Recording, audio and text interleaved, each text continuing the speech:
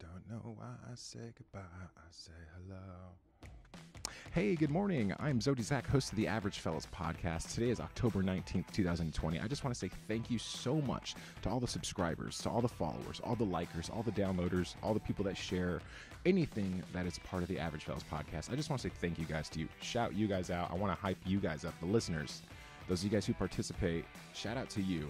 Uh, you guys make the difference on the Average Fellas podcast. And this podcast is to promote small businesses, freelancers, nonprofit, anybody who has a passion, any average fella out there who, who who believes that their passion, that their story, that their product is worth anything. That's what this podcast is for. I believe in the average fella and in, people. so, um, you know, that's what we're trying to do here. We're trying to promote the average fella, share their story, share their product. You got a business, you got a nonprofit, hit me up, DM me. I'd love to share you. Anyways, thank you guys for listening, subscribing, downloading, reviewing, rating. Thank you so much. I appreciate all your guys' efforts. Thank you.